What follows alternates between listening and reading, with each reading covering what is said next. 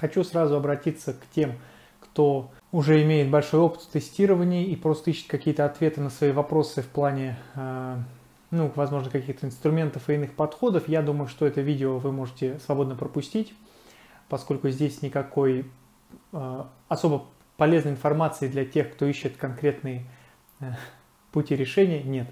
Что же касается тех, кто пришел сюда, потому что хочет научиться писать автотесты, это курс-повествование.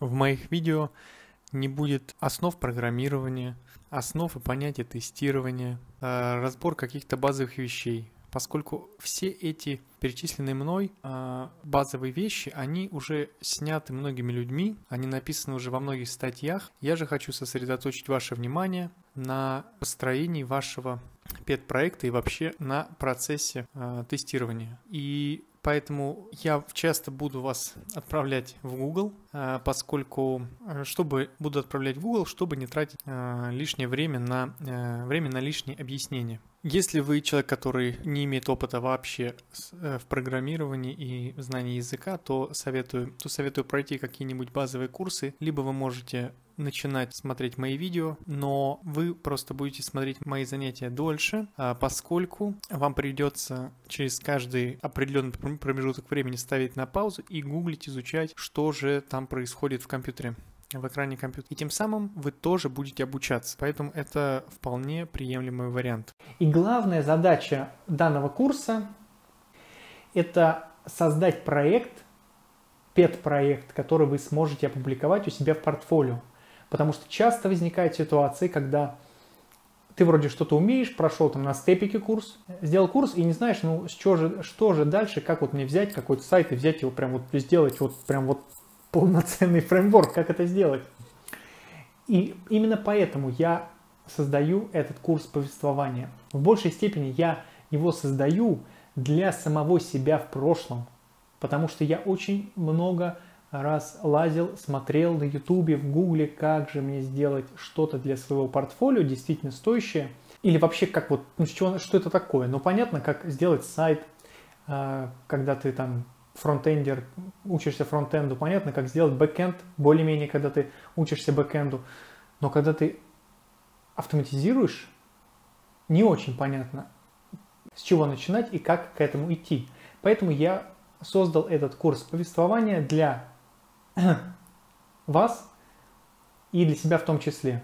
Мы рассмотрим большое количество разных элементов, как с ними работать, но в большей степени я хотел бы обратить ваше внимание на тот факт, что э, мои слова в, данном, э, данной серии видеоуроков, в данной серии рассказов, таких э, автоматизированных рассказах, они будут, конечно же, не истины в последней инстанции вы всегда можете переделать, э, возможно, даже всегда нужно переделать под себя. Но самое главное, какой плюс я вижу, это то, что будет проект достаточно полноценный, возможно, со своими косяками, возможно, со своими ошибками.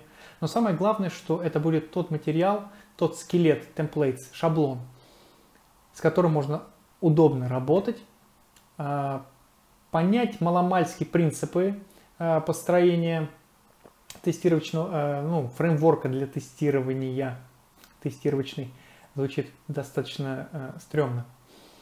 А, и а, прекрасная возможность посмотреть на то, как работает э, человек со стороны.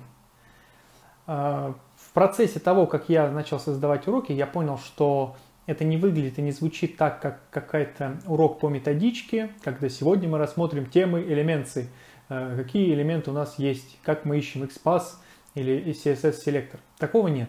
И такой есть ну, э, на YouTube. Вы можете найти, открыть, посмотреть много людей русскоязычных, англоязычных и особенно много наших замечательных коллег э, из Индии. И поэтому мне захотелось сделать какой-то некий похожий, похожий аналог – Э, в русскоязычной среде для того, чтобы можно было этим пользоваться, когда в этом есть необходимость. Почему я называю, почему мой канал Automation Craft, ремесло автоматизации? Я уже на одном из своих видео говорил и повторяю, что я представляю, для меня наша работа, э, работа автоматизатором, вообще человеком в IT, программистом, это своего рода ремесло. И э, можно сколько угодно рассуждать о том, э, какая то высокоинтеллектуальная, творческая профессия. Да, действительно так, и можно так сказать про любую другую ремесленническую профессию. Люди, которые создают э, изделия из дерева, шьют обувь, э, такую крафтовую, хендмейдовую, не именно э, на заводах в Китае, а когда это люди делают руками, настоящие ремесленники. В этом определенно есть всегда творчество, э, гениальный вкус, красота, несомненно. Но красота, конечно, понятие, оно такое субъективное у всех, все воспринимают его по-разному.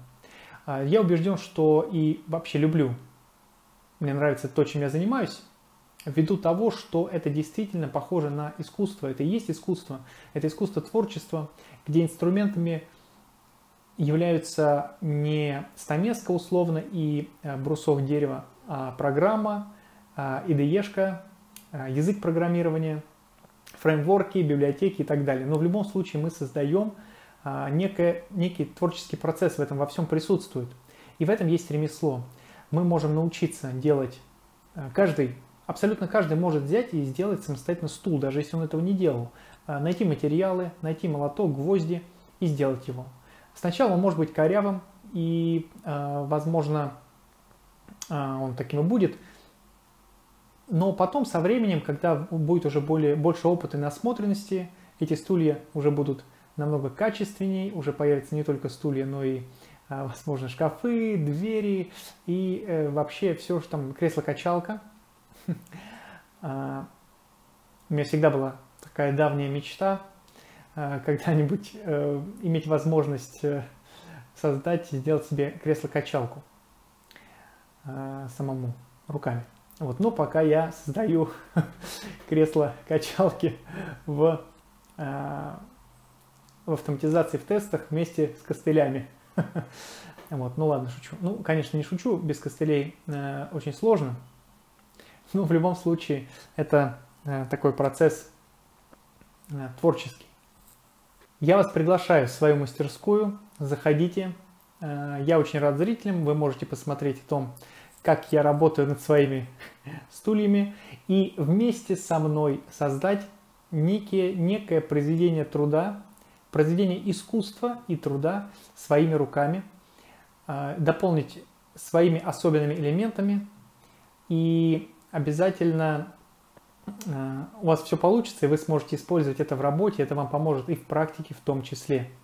Главное, не забывайте, что я такой же абсолютно человек, как вы, и начинал с нуля, и сейчас э, я вряд ли когда-то буду, и не, считаю, и не считаю себя сейчас суперпрофессионалом, который знает все и разбирается во всем, поскольку э, все познать и все уметь невозможно. Все приходит только с опытом.